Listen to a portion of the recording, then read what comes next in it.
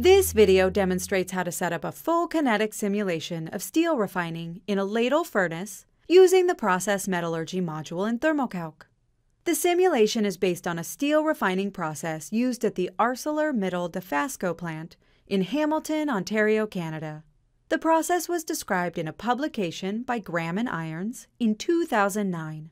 Gaps in the reported process parameters in the original publication are filled in following the assumptions made by Van Ende and Jung, who set up a similar simulation of this ladle furnace process using the EERZ model in a paper in 2017. A link to this paper is in the video description. The calculation used in this example is included in all Thermo-Calc installations, beginning with Thermo-Calc 2020b. You can access it from the Help menu Examples files, Process Metallurgy, PMET06. A TCOX database of version 8 or newer is required to run the calculation. There is also a PDF available which explains this example in detail. A link to the PDF is included in the description of the video. In the video, I will briefly describe the ladle refining process that is simulated in the example. I'll then give some information about the kinetic model used to simulate the reactions. Then I'll show you how to set up the simulation using the Process Metallurgy module in Thermo-Calc. And finally, I'll discuss the results of the calculation. The image on the screen shows the ladle refining process that is simulated in this video. The most important process steps are shown from left to right. For example, at 1 minute, 105 kilograms of aluminum is added to a ladle furnace that contains 165 tons of liquid steel and 4.95 tons of slag. The aluminum reacts with the oxygen in the liquid steel to create aluminum oxide inclusions, which gradually float up and out of the liquid steel and join the slag. During the whole processing time, the slag reacts with the liquid steel, taking up certain elements such as sulfur. The goal of the entire process is to refine the steel using additions and heat treatments at various time steps. The Process Metallurgy module makes it easy to set up such a simulation, and when we look at the module, we will see this information reflected there. The kinetics of the reaction between the steel and slag are simulated using the Effective Equilibrium Reaction Zone model, or EERZ for short. Also, the heating and cooling of the ladle and the flotation of nonmetallic inclusions as a function of time is simulated. The possibility to perform such kinetic simulations as a function of time using the Process Metallurgy module was introduced in Thermo-Calc 2020b. Details of the model and how these processes are implemented can be found in the PDF accompanying this video. The thermodynamic equilibria of the various reactions taking place are calculated using the CALPHAD database TCOX10, but it can also be simulated with TCOX8, TCOX9, or newer versions. I will now show you how to set up the simulation in Thermo-Calc. The Process Metallurgy module is accessed from the home screen of Thermo-Calc simply by clicking on the icon. In the Process Metallurgy module, you first select whether you will perform an equilibrium calculation or a process simulation, which includes kinetics. You then set the basic conditions of the simulation, as I have done, as well as the duration. Now we will set up the kinetic simulation.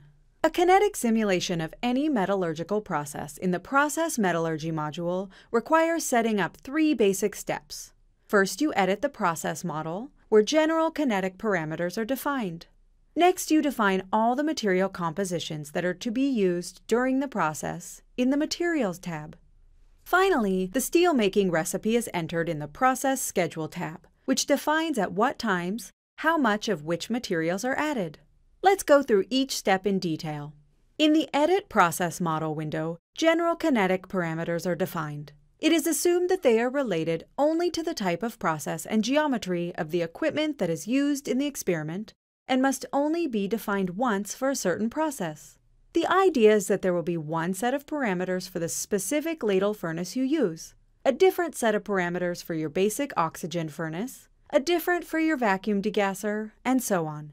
You set the parameters for each only once, save them for later use, and then you can easily access them each time you set up a simulation.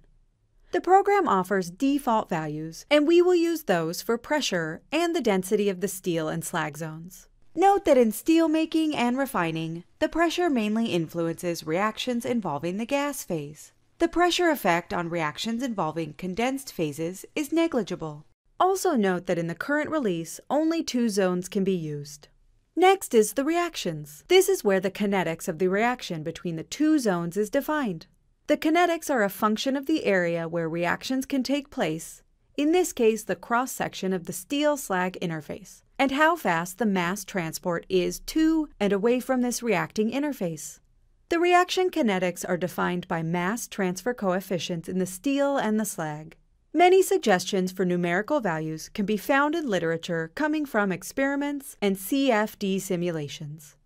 Transfer of phase group is primarily used to calculate inclusion flotation. In this example, adding aluminum to the steel zone containing 100 parts per million of dissolved oxygen at time 1 minute results in the formation of solid aluminum oxides also known as corundum, as we discussed when looking at the image.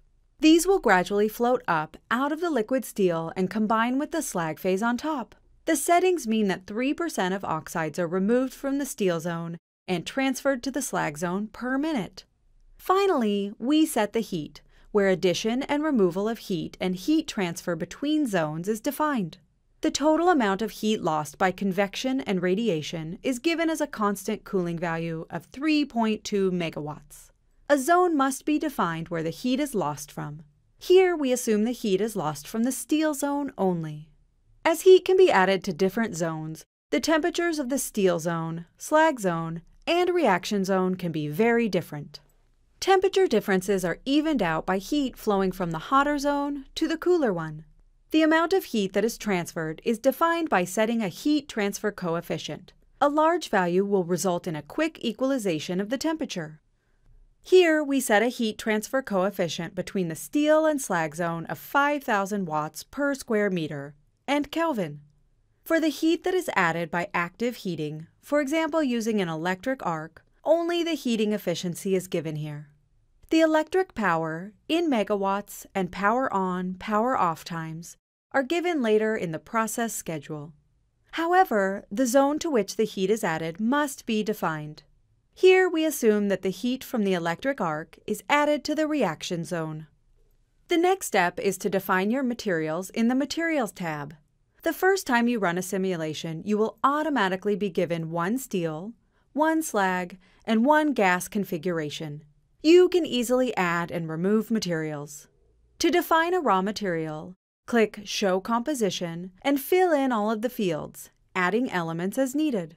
Once a material is defined, it can be saved so you can use it in subsequent simulations. The idea being that users can compile a library of materials that are generally used in their own steel plant or research facility. I will now show the compositions of each of the seven materials used in this simulation, as well as the zone to which they are added and their temperature before addition. If you are setting up the simulation, pause the video and enter the materials as shown on the screen.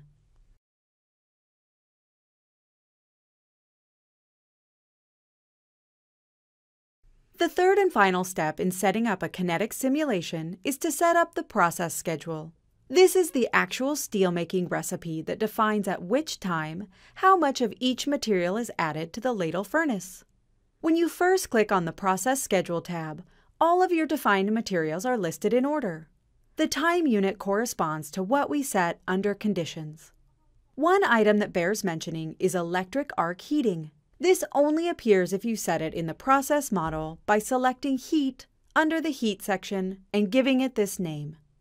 The first step in setting up your schedule is to set your time steps in the top horizontal row. These are the times at which additions will be made or heat or cooling will be applied. The next step is to set the unit for each material. You can decide between a set amount, which will be added once at the defined time, or adding a continuous flow per second or minute, as we have set for argon. Finally, you enter your additions for each material. For instance, at 0 minutes, we add 165 tons of steel, 4.95 tons of slag, and we begin adding 0.167 cubic meters of argon per minute.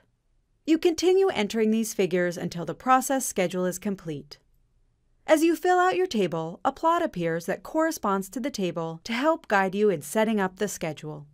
Once your table is set up, you configure the plot nodes based on the results you want to see. All results are shown as a function of time because these are kinetic simulations. Then click Perform at the bottom center of the program. This example includes four plots. The first plot we will look at shows the temperature of the steel, slag, and steel-slag reaction zones throughout the process. The heat lost by radiation and convection is assumed to be removed from the steel zone, as we set in the process model. This is the reason why, in general, the temperature of the steel zone is lowest, as shown by the red line. The heat input by electric arc heating, on the other hand, is assumed to go into the reaction zone. This is the reason why the reaction zone, shown as the green line, is much hotter than both the steel and the slag zone during arcing. The heat is added to the reaction zone, then flows into both the steel zone and the slag zone when the reaction zone is mixing back into the steel and slag zone at the end of each time step. At each time when additions are made, the resulting temperature changes in the zones to which the additions are made can be observed and interpreted. At time equals 20 minutes, for example, it is seen that the addition of 100 kilograms of calcium oxide to the slag zone results in a significant lowering of the temperature of the slag zone.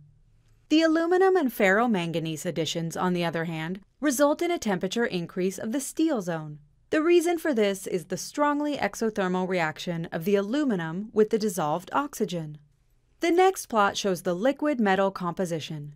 It is reassuring to see that already this simple model captures all the relevant chemistry changes in the liquid steel.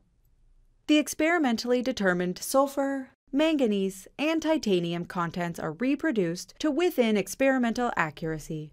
The aluminum and silicon content in the liquid steel are satisfactorily reproduced. However, the aluminum content seems slightly on the high side, whereas the silicon is slightly on the low side.